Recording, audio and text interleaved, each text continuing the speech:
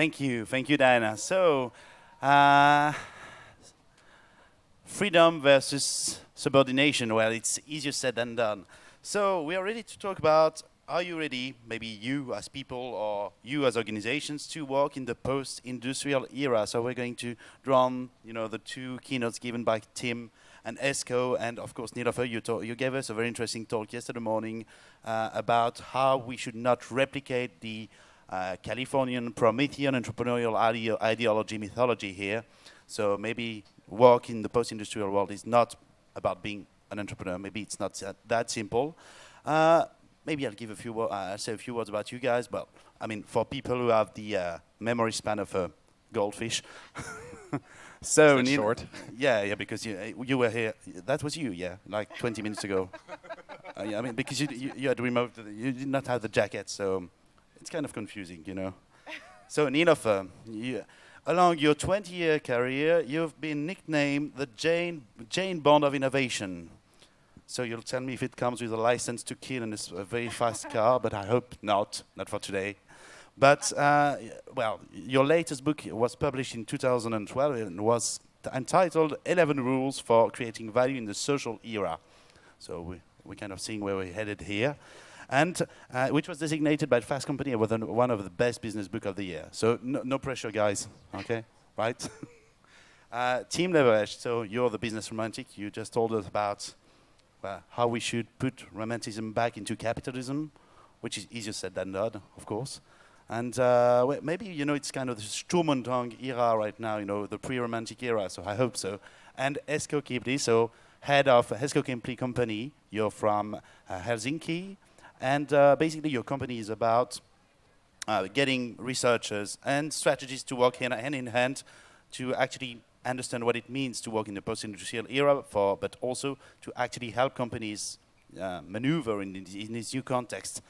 So, I've already talked too much, but I'll just frame, you know, the, um, the problem we have here. You know, when we talk about the industrial era, I always think about Charlie Chaplin, you know, in his uh, 1936 classic, The Modern Times, you know, where it was, uh, uh, what was the name of his character in English? It's not Charlot. In French, we call him Charlot but I discovered it's Little Tramp in English.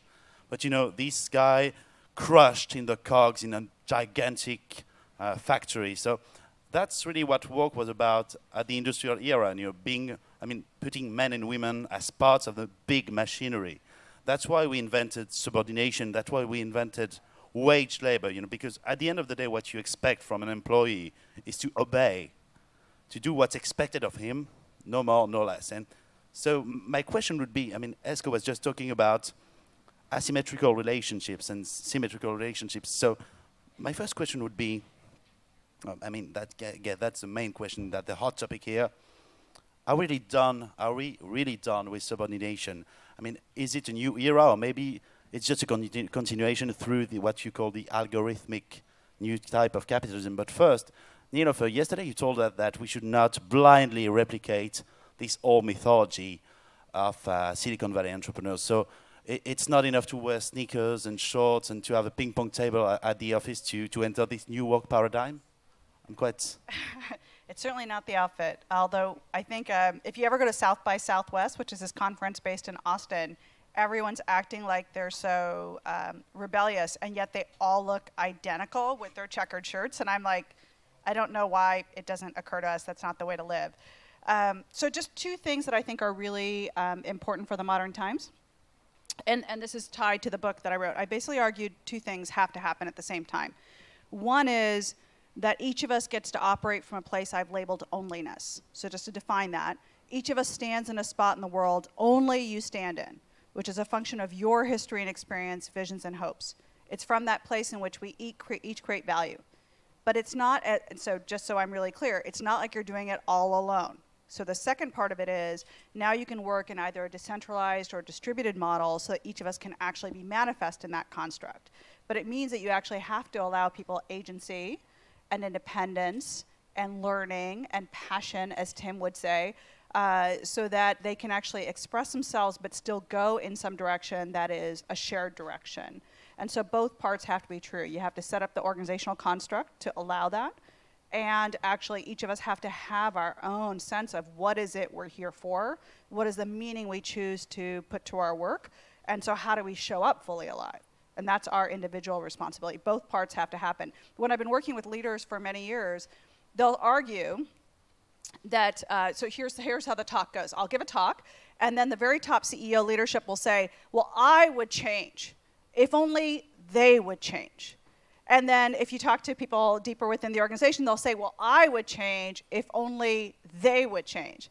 And, and I'm just trying to show that systemically, the individual and the system have to start working in some loop that actually is better for both parties. That's actually a very romantic idea in a way because that's quite contrary. You know, being an employee meant that you had a job description that you were a function, that you were, you could be replaced. You know, someone was waiting and could take your job. It was not you as a person, not you. I mean, I like this concept of onlyness. I'm sure, Tim, it, it reson resonates a lot about your romantic idea because romantics were the one who brought back, you know, the concept of self, you know, of self-accomplishment, of authorship into the intellectual European uh, mindset. So, how do you, what do you think about this idea of onlyness? I like it. no, I mean, I think we all I wanted them to fight on stage, but uh, they like each other too I much. think we, we have a lot of overlap, right, with our themes in terms of um, uh, the social element. I think what you said about uh, interactions and relationships, work means to create relationships, really resonated with me. Um, there's a great quote by the philosopher Robert Solomon who says, um, um, you know, the economy is not a marketplace, it's much more a sympathetic community for social exchange which is, I think, very much along the lines of, of, of what you said. But to your question, um, the self, I, I, think one of the reasons why I'm so fascinated with romanticism is that it's very ambivalent, right? There's uh, a, definitely a dark side to romanticism as well. So, in fact, there, there are several. But one is romanticism is very much about the self and ind individualism, right? And you could argue at what point does sort of this obsession with the self become uh, just sort of the, the opposite of collaboration. At one point, do you become an asshole, right? If you're, if you're really an exuberant romantic, I think that's one fine line um, that romantics have to navigate. Like um, Musset, for instance. Musset in uh, Daily Life must have been a terrible asshole. Well, I mean, yeah. Steve Jobs, right? Or I mean, there's, yeah. there's uh, the quintessential romantic uh, among... Dr. Frankenstein. Yeah. Frankenstein is another uh, great example, or Lord Byron, uh, if you will, is, is another one. And I think uh, the other uh, sort of dark side of this, this, you know, the self and the, the, the, the, empowerment of the individual is yes, it is great if we're now empowered uh, and we no longer have to do mechanical objective tasks, right, that are no longer part of the industrial society. But what that means is that pressure, performance pressure is shifting to subjective tasks. So how much of our work is now uh, internal brand management, perception management, right? Building currency, showing up, in fact, having the pressure to show up with our authentic selves. Because you're not authentic, right? You do not perform and you don't build relationships, then uh, you will not succeed, you know, at the workplace, I think, that we're, we're entering. So I'm not, you know, it's not per se bad or good, I'm just saying there, it's more complex and the nature of work is changing. Um, and uh, as much as that might liberate, it also adds new pressures um, to our uh, persona at work. Nilofer, you wanted to react? So, so two things. I actually respond really negatively to the term empowerment. And, and I just want to have us challenge that word for a minute because it assumes that it comes from outside of us. And I don't know about you, but I have never used the, the word empowerment with a white man, for example. I never say, by the way, Tim, you need to be empowered. But I hear it a lot with groups that are underserved when in reality they actually have a great deal of capacity that we've actually limited. So the word I prefer is how do you actually enable that which already is? And how do you actually build the scaffolding in the organization that lets those people show up? And scaffolding just lets people bring what they have, right? So I assume resident, innate capability in the system, and I wish more organizations did, because I think what we mostly assume is that people are stupid, that they need to be told. And I actually don't think most people are stupid nowadays. Esko, I think you wanted to react because you were talking about symmetrical relations and asymmetrical relations. And I think it resonates a lot with what, what Tim was saying about, you know, you may not have a boss, but there is a strong social pressure, new kinds of pressure appearing, which means it's not like, uh, you know, it's not paradise regained. I'd like to start by uh, defending industrialism. Because actually, it was the right answer to the questions that were asked 100 years ago. And uh, industrialism has created tremendous wealth and well-being and raised millions and millions of people from poverty. But what has happened is that it has turned from creating value to extracting value. So the time is over. And I think none of the models are applicable anymore. So we have to create a new language, we have to create the new designs, we have to create the new post-industrial narrative, as I claimed during my, my opening words. So you just have to forget, as, as Nilofer so rightly put it, you have to forget words like empowerment, because that's an industrial asymmetric relations word. As a concept, it's not symmetrical because you don't empower anybody in symmetrical relations. And this is the real task for us is to, is to be very specific about the words we use and be very specific about the goals and aims we have and even more specific about the values we want to work for and fight for. But are, are we really done? Yeah, I want, I, want to, I want to hear you on that. Are we really done with industrialism? Because you, you were pointing, you know, you were talking about this all algorithmic obsession. And so far, it's like technology has not lived up to our, expectations. We are using technology, information technology, to increase control. You know, this all lust for control of capitalism. Uh, we are just, you know, asking more and more reporting for people and just monitoring their. I mean, you were talking about the quantified self, even for sex, for God's sake. I mean, so it's like you know, it's uh, all the industrial industrial mindset is just spreading pervasively into our new world. So, what's going on here? I think that's a true observation. I mean, that's Esko, you pointed out as well. Um, and it's interesting, just a, a statistic, uh, one out of 10 jobs right now has existed 100 years ago, right? And the tech industry in the past 10 years has only created 5% of new jobs, right? Despite uh, GDP growth and, and really exuberant uh, profits, right? So, I mean, this is just a little bit of a reality check to your point, like how fast are we advancing? How is, is that new paradigm of the post-industrial work really uh, prevalent across the board. I think it's going to take a little bit longer. And if you look at the number one job in the United States, it's you know truck driver, secretary, right, cashier. So they're still very uh, sort of mechanical uh, uh jobs. So I think we're we are all prone. I certainly am uh, living in San Francisco to sort of looking a little bit at inside the bubble, and then projecting what we see. Sort of the avant-garde of, of new economic paradigms and projecting it out and assuming that's already the case elsewhere, but I think it'll take it'll take some time it will take time. Uh, Nilofer, where are we in the? Are we have we entered the social era, uh, the one you're talking about in your book? I think we are, and I think we are entering the social era. For those of us that can apply our creativity, that can show independent judgment, that can actually use our own ideas, we're going to benefit. The risk um, is that the truck driver is going to be replaced by an Uber type technology. The secretary can be automated. And so it, I don't know if you know the statistics, but in the United States, the amount of work that is called creative work, so the someone who's applying independent judgment, using their own ideas, etc., is in a generous count 40%. That means that 60% of the economy is at risk, which actually means, by the way, that our entire society is at risk. Because as soon as you no longer believe that you have a place in that house, you will burn down the house, which, by the way, explains Donald Trump right? You will burn down the house because you believe it doesn't matter. It doesn't matter because if, if, it doesn't work for me, it doesn't work for anyone, right? And um, by the way, the, the international number, because I just asked Richard Florida, who's the source of that data, who wrote the book on creative class. We're doing some shared research together about the intersection between onlyness and creative class.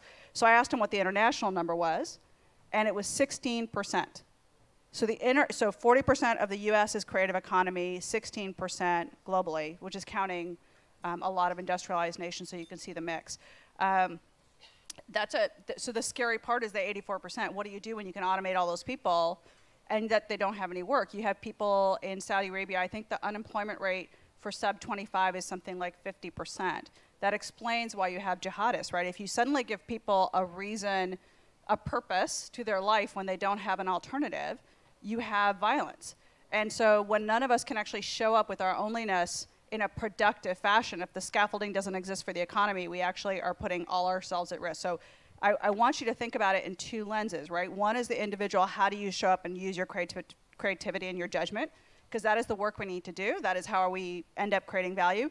And the second is how do we take care of our brothers and sisters in our modern economy? Because if we do not, that's why I was giving the talk yesterday. I think we're so bought into a system that says winner takes all. And when you say winner takes all, and you, then we have no society left at the end of that story. I think we'll get to this idea. You got the audience convinced. I think we'll get later to. I want to go deeper on these uh, you know, societal consequences of the potential end of work. But first, uh, you, you, talked about purpose. You know, work was also at the individual level about having a purpose. You know, doing something with your life, being useful to society as a whole. And you know, I, I don't remember. I don't know if you've read this article. It was about three or two or three years ago by the anthropologist David Graeber about bullshit jobs. You know, the fact that people who, because lots of people are going out of job, but people who have a job still just feel like they are useless, that they have no, their job, their daily life, their daily work routine creates zero social value. And this is a very psychologically damaging phenomenon. So what would be your take on that? Maybe Tim and Esko, if you want to react on that as well? Go, for, go first, Esko. Yeah. Um, so purpose is interesting, and I, for my book, I've, I've talked to a lot of people who work for purpose-driven, mission-driven organizations or nonprofit, and I think one observation is that there's often a, a, gulf between the lofty purpose and the mission that everybody buys into, and that is very important, but then how it is experienced and manifest every day in the workplace. And if that link isn't there, of course, there's a huge potential for frustration, and it falls, uh, and it falls flat. And purpose also is also per se, it's a neutral term, right? So you could argue, um, Nilofer, to your point, right? ISIS uh, is a purposeful organization. Goldman Sachs, you know, it has a very strong purpose. It's not the meaning of life, but, but it's, it's not the meaning of life. something right. I think what is key is that um, besides manifesting that in a, in a in a human, delightful, I would call it a romantic workplace experience, is I think not only the wish to transform organizations, but also the ability to transform the members of the organization, to really transform selves in the process.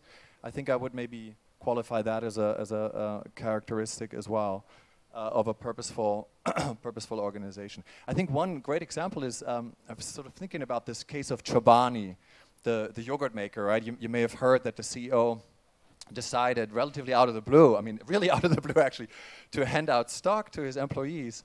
So I, I, thought it was kind of interesting. Uh, obviously, uh, you know, some disputed and said, well, he did that because of the private equity investors to dilute and whatnot. I don't think it even matters what the motivations were. I think it was very successful and resonated, not only because it, it served a purpose or it was in, in line with the mission of the company, but also because how he did it. And that's where the romantic part comes in. Uh, you know, rather than just doing a CSR report or donating, right? But this surprising move, this oh my God moment of awe to say, well, you know, we don't want to do something completely unexpected and give you stock as gratitude for all the years that you worked for the company. I think that really made the difference. So uh, my, my, my suggestion for purpose-driven organization is think really very carefully about how you translate the purpose into very, very sort of tactical, everyday moments, because the moments are incredibly powerful. Esko? Uh, we work a lot with the flip side of the coin of the Nordic good social security. And the problem is that if for mental or physical reasons you are out of the work life domain, it's very, very hard to get back in. And what we try to do is we try to help people to get back into the society through technolo technology and augmented intelligence. And the way we see purpose here is very different from the people or the person who's been sitting alone at home for a year. And the purpose for her might be just to be with other people, be part of the society. And this is something that we don't understand. That purpose is not the same for everybody. It's very different things for very different people. So it can be, uh, you can be jobless and still have a purpose and still be working. I mean, it's not like your work life is just blocked into this concept of old concept of job. But I, I mean, you're talking about you were. I, I read an article where you talk about uh, the fact about division of labor, and you were kind of defending industrialism. And I have to say, at least you know, in the old paradigm, well, you knew what your job was. You know, you had a trade, you had learned, you have the specific, specific, uh, specific set of skills. And I have to say, you know, as a member of OuiShare, uh, sometimes people ask me, "What's what do you do for a living?" And I'm like, ah. You know, it's kind of I'm a kind of a journalist slash. I really don't want it to do so. It's really hard to express the social value, and sometimes it's kind of alienating. So, how do what can I do to have as to be useful at a societal level and not to be alienated in this way? You know, what's my trade? Because in a way, it's terrifying not to have any division of labor anymore, just to be picking and choosing everywhere like that. Well, first of all, I defended what was right 100 years ago. And the problem we face in many meetings like this is that we have the new tools, but our thinking is so outdated. And then, of course, uh, coming back to the, the question, we have uh, neuroscientists in our, our team, and, and what they claim is that the industrial model of competence or competencies is really something that is not very good for human beings. Because human beings beings, what comes to our brains, are not meant to do one thing. We are meant to do very different things. And it may be, and this is something that we are not quite sure yet, because this is kind of study under progress or in progress, is that what if the future work is doing four or five things? What if you have several kind of streams of activities or many, many streams of activities where you get also your income? And that's quite interesting, but we don't have the results yet. So, so I'm not completely lost. I totally want to hear that answer. So I think I think to answer your specific question, um, I think there's two answers. So first for you, so if I was just looking at you and saying how would I ha- handle that, I think a lot of us are doing this slash career thing. So we're journalists slash conference organizers slash writer slash whatever, right? Like this slash career, uh, and it's all these hyphens. And I was doing at one point uh, research. I was a professor at Stanford. I was, you know, blah, like these different things.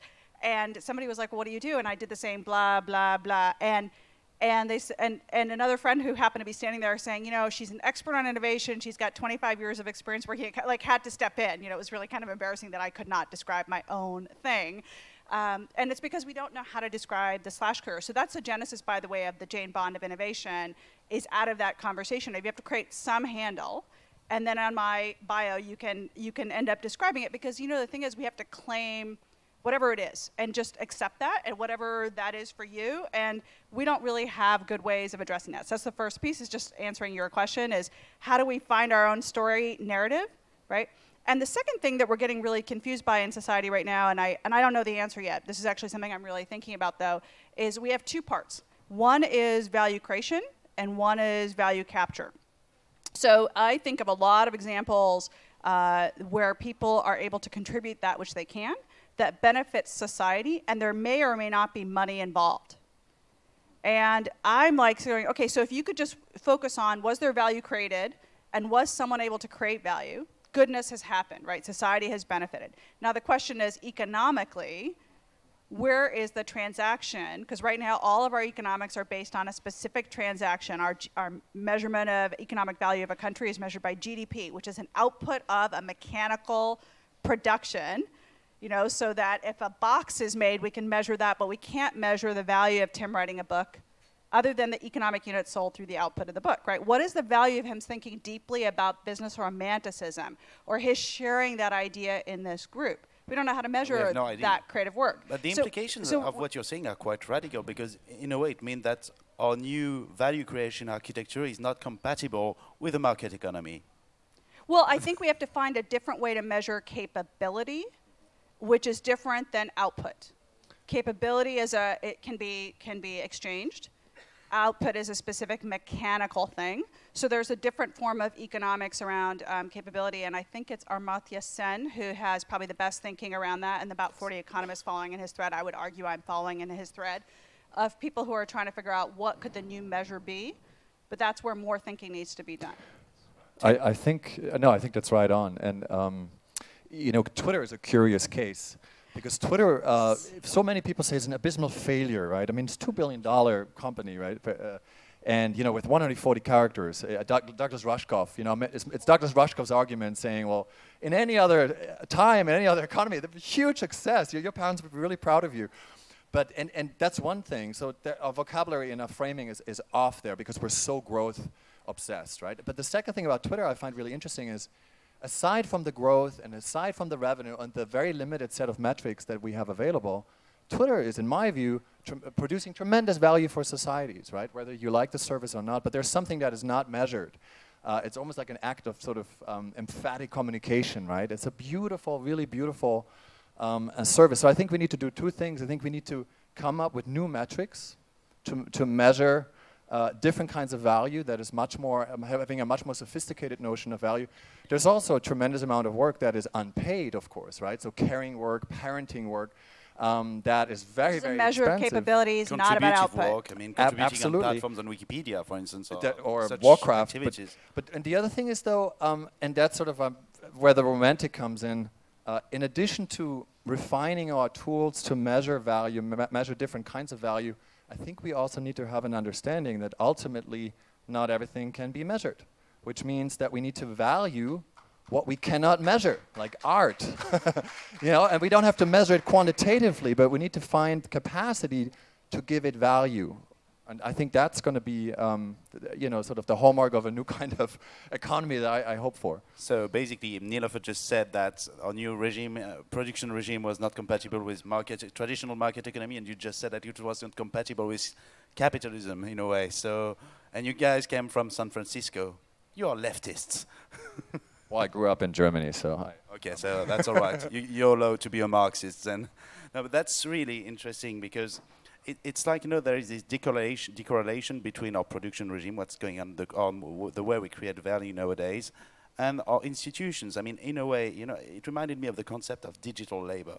You know, uh, Esko, when you were talking about these ongoing asymmetrical relations, it's like we've imported into the digital slash social era. I mean, call it whatever you like, but we've imported the the old relations of domination. We're just replicating. I mean, there are new ways of alienation that are being invented right now for the digital world. So I guess the question right now is, how do we move away from this past? You know, how do we just push away this future, this algorithmic control?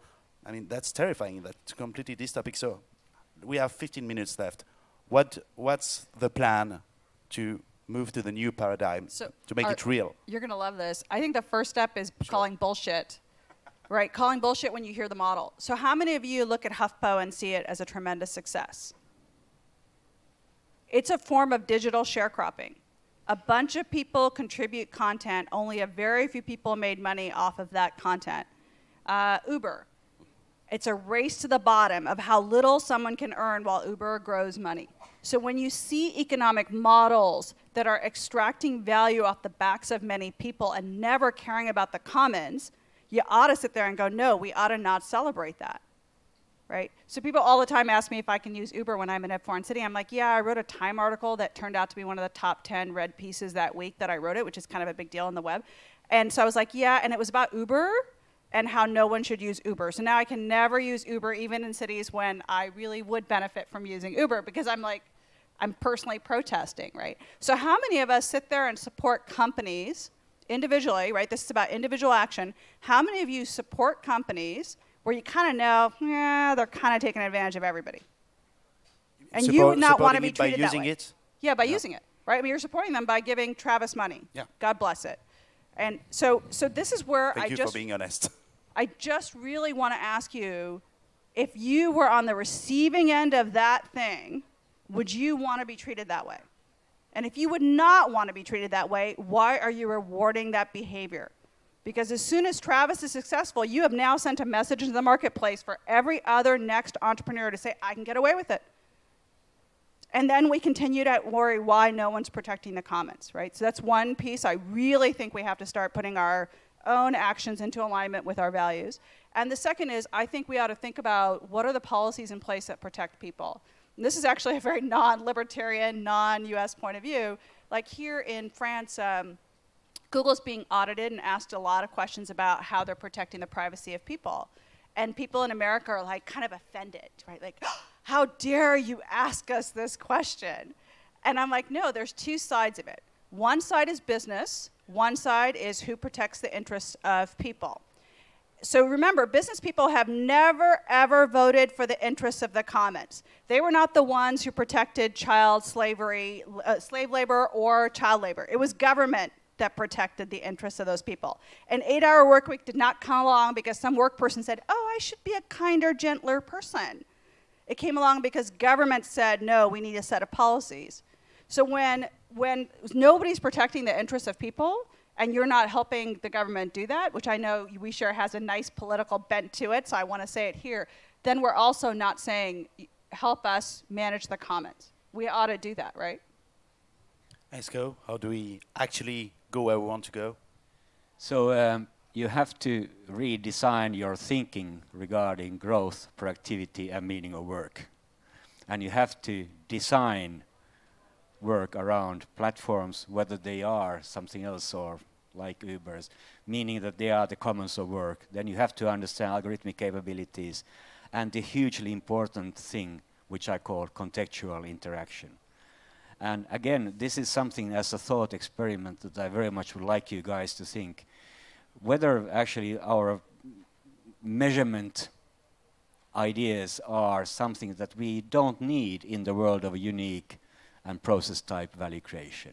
Because why measure if something is totally unique and context specific? Tim, I'm pretty uh, sure you agree with that. No, I do agree with that. Uh, I, I, think it's also maybe a good time to talk about universal basic income, right, on the on the policy level. So I, I, I, see sort of there's an individual liberation that I that I can envision, which to me has a lot to do with uh, transcendence, uh, which can be a very small space, right? Just creating space for very context-specific interactions um, that allow individuals to move beyond the narrow confines of the algorithmic measured uh, organization, right? It's not going to be a revolution, but just creating space for that in organizations can happen in parallel to other paradigms. I think that's one thing that's really important if we all uh, promoted that and did it in our own work lives. And I think the second at the societal level is universal basic income, making sure that people who can no longer compete for their jobs, right? There's a difference between jobs and work. For their jobs with um, machines on, on the grounds of efficiency and productivity, to decouple that and give them a foundation by providing them 1,000 you know, US dollars per month, as it is discussed in the States, uh, a universal basic income to basically then pursue more complex, more creative, more emotional uh, um, endeavors, right? Very much so, uh, uh I think, uh, as it was the case in the, in the Romantic Age. Uh, and then have, um, you know, depressure basically um, you know, the workforce and contribute, I think, to a new social contract, which we, I totally agree with Nilofer, urgently need. Yeah, because uh, right now it's like our old social contract is is falling apart because of the because of automation, uh, because of the fact that jobs ju are just disappearing. Um, you guys already talked about that. It's true. Maybe do you think we should acknowledge once and for all that in the post-industrial era there will be there won't be a job for everyone, and that's no big, maybe that's no big deal, and maybe if we can adapt to I totally disagree. I you absolutely totally disagree. Totally disagree. I like people, but we I have like to, when people disagree we have to rethink what work is and what jobs are. They are relations to what people do with other people. And this is, this is precisely why this is so important, because if we think that there's not going to be work for everybody, then Oh, jobs, jobs. Well, job, job is an industrial era thing. We shouldn't talk about jobs anymore, anyhow. Okay. Nilofer, you wanted to react on that? Um. you kind of agree. No, so I think the thing is, how do we actually enable people to do good work? That's the main thing. How do we allow us to do creative work and what that looks like? So I actually, when I, when I wrote Social art, I had one thesis about this, and I'm not sure I've really changed my opinion, although I'm, I'm still processing on it, which was that we may need three types of work. One is um, like I don't want my accountant to be super creative, for example, right? On the on the inner part of the business, I really want that person to be as consistent as possible. That's and better. You can have problems with the law and with the tax uh, tax authorities. Well, yeah, I'm just I want someone to be like you know do the thing, get really good at it, get it routinized, whatever. Like, but but be able to be um, take the new information and apply judgment to it, right? So there's that type of job. Then there's the next level of job, which figures out, okay, who's even the right project team to uh, do something. So you are acting in a, a curation role to say, if I'm going to go influence a thousand people to go change our economy, what is the conference topics and conversations that we need to have, right? So you're playing a curation role. And then there's like the work of Esko and Tim, which are thinking about what could we do, what are the infrastructures, I'm doing research around it, right? So, and we're, we're kind of pushing the envelope by the way, none of which is paid for right? Most of the work that you and I are doing and thinking work is not paid for, but when someone does pay us, man, they pay a premium, right? So there's sort of different levels of work. Notice that the stuff that's automated isn't even included in that. So I'm going to assume for a minute that there is going to be automated work that replaces everything that is possibly automated. And then the question is, where do you play in the role? All of those three, by the way, are relational. The accountant has a relationship with the clients. Uh, the person who's playing the curation role is playing a knowledge set role. And then those who are experts are going to play a different role. They're all creative uh, based work um, because I'm assuming that that is, that is the kind of work we're going to have in the future. Tim, you you were mentioning uh, Her by Spike Jonze uh, in your in your keynote, and what's the job? Uh, I seem to remember the job of uh, Joaquin Phoenix in, in the film is like writing love letters in, instead of people, right? That's ki- the kind of jobs we could have in the future, according to you. Love letters to operating systems. Love, well, maybe love letters to strangers, and the stranger is an operating system. I don't know. I, I, I think. I mean, we're. We, I- just read this morning, like uh, youth unemployment in Spain is what 45%, I think, in the first quarter. Uh, I mean, it, there, there, this is a big issue, the, the youth unemployment, of course. Um, and we are, if we look at the, the tech sector, we're not creating enough jobs right now, and we won't be in creating enough jobs because of automation, which means that we have to really rethink our model and create opportunities for work, which is not the same as, as, as jobs, right? And that work, uh, Work you know, can be paid or problems. is not paid. You know, if we have universal basic income, the work does not need to be paid. You know, it's sort of in addition to universal basic income. But I think I, I don't really see any other uh, policy solution out of that uh, uh, sort of uh, paradox. You Yeah, know, because you know unemployment. I mean, we are obsessed with the uh, political question of unemployment in Europe. In France, it's about 10 percent, 25 percent. It's youth unemployment is 25 percent officially. Um, but it's also a psychologically dama- damaging phenomenon, like much like bullshit jobs, you know, because people are feeling guilty. Everything is made for is made so as people, well, feel, will feel guilty because hey, you're out of job, you're you're useless, you're, and right now it's like you know there was a very controversial uh, bill that was passed in France in force without any vote from the parliament about work and and you know, politicians are always talking about the figures. You know, like, like accountants about this is a rate of unemployment, so this is the productivity rate, this is our level of competitivity, and th- the the beginning of the revolt against this law was uh, through a hashtag on YouTube called "On vaut mieux que ça," which was, uh, which means basically we are better than that, and people were actually talking about sharing their daily experience, their daily humiliation in work, and, and how, I mean, how do we switch? Because right now people are just threat, constantly threatened with unemployment. You know, you're going to go to Pôle Emploi, you're going to go there, and it's going to be going to be terrible for you. How do let we me, let me try that? to let me Yeah. try to say something uh, comment Please. to this I, I think there are two uh, obstacles that we again and again create for ourselves. And one is the idea of jobs that that work is about getting a job. And if you think this way that the second mistake you make you, you say that okay then there has to be an employer and an employee. And what that does it creates thin markets of work. And instead, and this is something we try to do in Spain and North Africa at the moment, is try to create richer markets, meaning that you don't, as a ex-employee, you don't try to connect with an employer, you try to connect with a customer. And that's why we emphasize that work is not about jobs, but work is about solving problems. Because there's never ending amount of problems. And if that is then the base, then it, we, it, it kind of brings us back to the basic human right of everybody being part of society. And everybody should have the right to do meaningful things with meaningful people in meaningful ways. So it's kind of reframing the whole picture of work. It's also so talking about sorry. jobs does not help us anymore one cent. it's, it's also about expanding the space for, for possibilities, not just having one career track, right? Having these slash uh, identities. And, you know, and uh, interesting enough, I think there's also right now so much emphasis on entrepreneurship, right? So we have this craving for identity. So part of, uh, you know, what you described is, yes, the humiliation of losing a job and not having a status and not being recognized as a valued member of society, but it's also a sense of disorientation. And we're just looking constantly for these role models, these formulas, these templates. And I have a feeling among Gen Y and maybe Gen Z already, it is you know, I don't know if it's okay to, to quote Michel Houellebecq in, in Paris, but he, he, he phrased this, he coined this beautiful line and said, the culture wars are over, entrepreneurship has won, which I think really rings true to me. Now, you know, entrepreneurs are the new aristocrats. Everybody wants to be an entrepreneur, needs to be a startup founder almost. Like otherwise, you have no value. You're not sort of really capitalizing on your potential, which I think is also dangerous. So I think the more space we open, the more possibility we allow, the more space there is for otherness, for going another, uh, pursuing another track.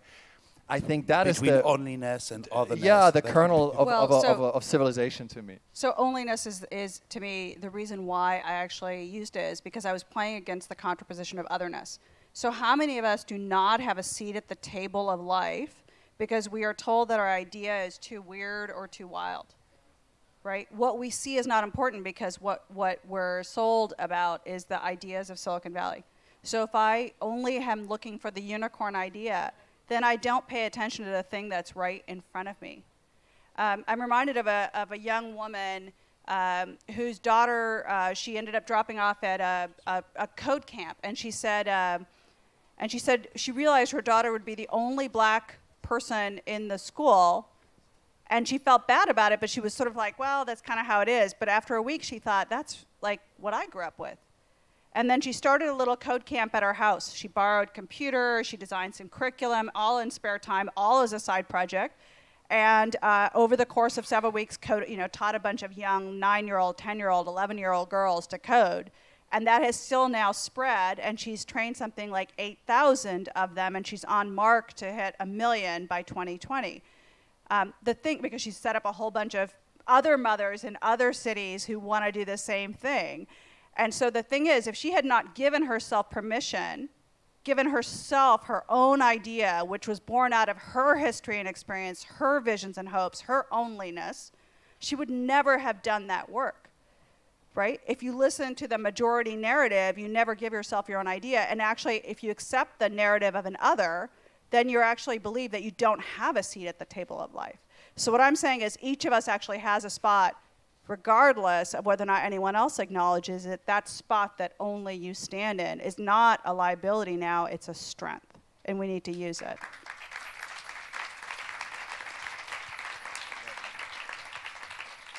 I couldn't find a better way to, to, to finish this discussion. You know, people uploaded before it was over, so that's quite perfect. If you guys want to add something, you know, I, it's something just pops up in my head. I was thinking about this philosopher called Matthew Crawford. You know, because i this guy, you know, the uh, it Soul was basically- cycle? yeah, No, um, soul, soul- soul, Soulcraft Soulcraft as uh, yeah, basically saying that he, he was a guy like me, you know, in a way, working. Uh, we don't, he do, doesn't, he didn't know what he was doing as a job, and he decided just to completely switch and to open a motorcycle repair shop, you know, to learn an actual trade. And I feel like, do you think this is completely reactionary? Uh, that's really backward thinking, or that we are going to see more and more people like me opening restaurants, opening bars, re- motorcycle repair shops. Uh, does it mean anything, or is it is, is it stupid for you? Very quickly, because it's just a way to open, you know. Well, you know, we saw a story yesterday called La Ruche uh, that was on stage, and I've been studying them for a while. I'm fascinated by it. We have supermarkets in the world, so it looks like that problem's solved. And here they're saying is no, we actually have an opportunity to build a relationship with farmers. We have an ability to pay them better, to get to know our community, to actually meet one another. And it's such a, it's such a, it's, it's something that was quote unquote solved. And yet, here's this beautiful approach of relationships. Tim's uh, beautiful notion of relationships coming back into it, right? Relationships are to the social era what efficiency was to the industrial era, which is a relation, and relationships are fundamentally built on trust, which means that you get to go and be personal with one another and show up with one another. And I think we want every single one of us wants that. We want to show up ourselves, and then we want to be seen with other people. And so that, to me, suggests that your answer is right. We are going to open up more interesting things ourselves. So, Tim, shall I embrace romanticism or open a motorcycle shop? Well, I think the, the, the value of things stems from the meaning that we imbue, right? And if, if that's a motorcycle or if it's a startup or it's a, an abstract task, it, it doesn't really matter. And I think what it shows is there is a, uh, a longing for nostalgia. Uh, and nostalgia, many people think it's, it's a longing for a time gone by, but it comes from the Greek and it means uh, pain from an old wound. So it describes a, some, something fundamental, um, an essential aching for a profound truth that we have disconnected from and that caused alienation. And I think by uh, honoring the craft, uh, by building something, by writing, whatever it is, as long as we do something that is meaningful, that we give meaning, I think then we have that sense, that nostalgic connection. And I think that, that I hope, is, is sort of a, a big enabler of, of fulfillment and happiness for workers. Thank you to all of three. Thank you very much for listening. Thank you.